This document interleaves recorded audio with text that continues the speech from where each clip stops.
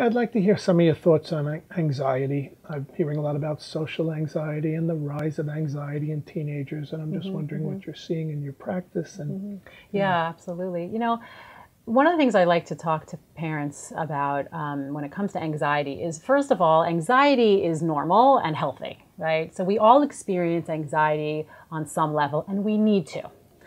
Um, we need to let our kids feel worried and concerned and then get through it, whether it's worried about a test or worried about something they have to say to their friend, right?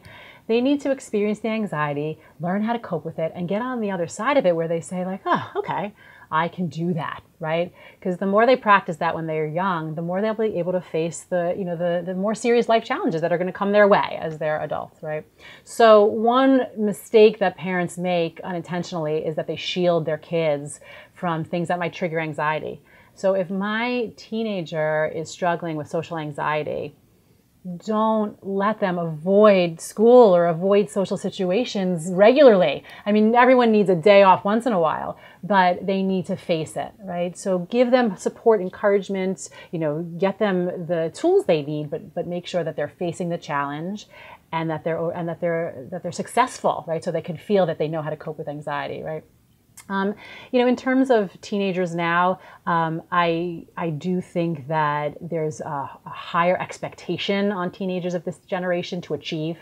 Um, and I think it's important for parents to really ask themselves, um, you know, why is it that I want them to do all their homework and get all A's and get to a specific great school, right? Like, what am I really wanting for them?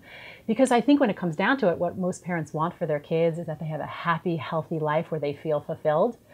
And is the grade that they get, you know, as a junior in high school on their AP biology test, is that really correlated with their happiness in life? I don't think so.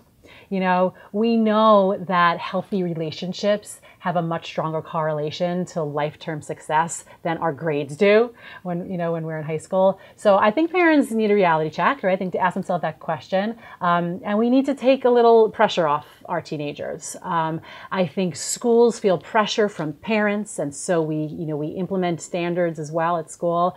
It's going to take some time for us to shift, I think, as a society, but we can start at home by you know taking off some of the pressure. Um, and helping our teenagers to find a healthy balance. Balance is really key. And if we do that, they're going to be experiencing a healthy amount of stress and anxiety. They need to have some, right? But it needs to be in a healthy balance.